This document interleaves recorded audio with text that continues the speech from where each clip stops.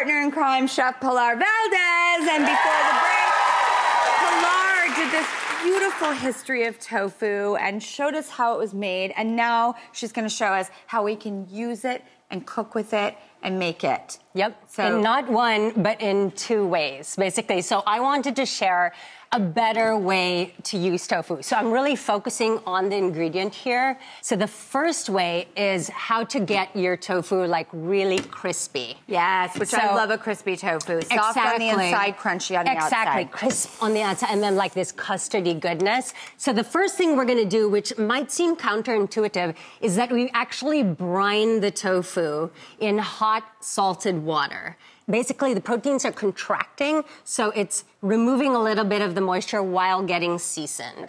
And then you're gonna pat them dry over here. And now we're gonna season them, shall you? This is just a little bit of um, turmeric, a little bit of um, ground garlic, and a little bit of ground ginger. You're gonna season on both sides. That looks great, Drew. And then it's gonna go in a little cornstarch bath, a little dredge. A dredge. And then into that hot oil and it's gonna start to sizzle. You can kick it up a little bit.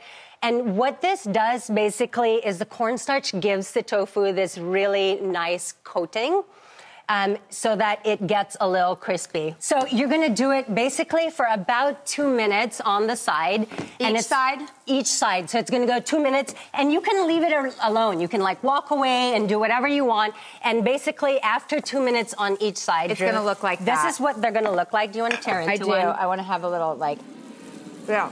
Mm-hmm. it's got crunch. The second way, so that is like a nice crispy. This is going to be all about that creamy. We've got some lemongrass and some mushrooms sauteing. I love this because I love the tofu scramble. Mm-hmm. So that's what I'm seeing, kind of that vibe. It's absolutely that vibe. And this way you get hot pan, put your aromatics, only saute for like 30 seconds, put in your crumbled tofu.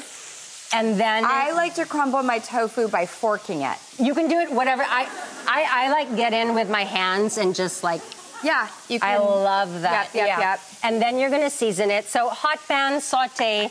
It's gonna get crisp on the bottom, and then you're gonna season it. And Drew, what it's gonna look like when it's done oh. is this. Basically, it's gonna have all this beautiful. I'm. I, am i am like I get in with my hands. Ooh. It's gonna have all this beautiful texture, a little crispy, and then mostly creamy and soft. I know there's like a joke, it's just like chicken, that has like a nice chickeny feel. Yeah. Again, I just think these like protein substitutes, they can go very meaty, very unctuous, really deliver that like texture that we crave. I feel like we're like mm, Absolutely. And so you can use it like what Drew's saying, like anytime like this like kind of in your ground meat substitution. So an enchilada in chili, you could do the, the tofu this way. I would crumble it, season it, saute till it gets nice and seared, and then mix it into your recipe. And now what do we do with the broth? So this is like a take on one of my favorite Thai soups. So we're gonna put a little bit of these crumbles. So we're gonna do the tofu in here. one in there. Mm-hmm. Lovely. Some for me. Yep. And then you're gonna do the second one. This is the one I bit, and I'm gonna pop that in there. Drew, I'm gonna give you a fresh one. And I then I did a really easy broth here. So you can use vegetable stock. I use chicken stock here, and I boiled it only for 20 minutes with some like shiitake stems, a little bit of um, Thai chili. These are lime leaves. If you can't get lime leaves, Oh my God, smell that. It's, it, if you can get lime leaves, definitely use them in your stock. If you can't, do a lime. It's incredible. I feel like I should pass one around later. Some cilantro, a little scallion. We just boiled this for about 20 minutes. You discard the solids. And since this is Thai style, we've got all sorts of condiments over here.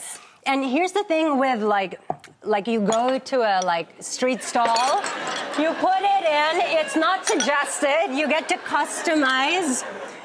Drew's, Drew's is very customized. And here's the thing, like when you have condiments out like this, it gives you the opportunity to personalize your own bowl. It's not like, I suggest you put this. It's like you do it to how you like to taste it. It's fun too. Like, don't get me started on a baked potato bar Oh or a God. Cobb salad bar or an omelet bar. I get so excited. Here we go. Oh, that is delicious. And I, I'm like, Mm. And then you have this like beautiful. That's the sign of a good meal when it's just all go. over your all over, chin. all over your chin. Mm-hmm. How you doing over there? I'm so good, and I love this, and I love you. Sorry, you might need a screen around me because I'm slurping, but I'm having fun. Pilar, thank you, tofu. You made us tofu two ways. I love you two ways. Tofu two I love you always. All right, we'll be right back.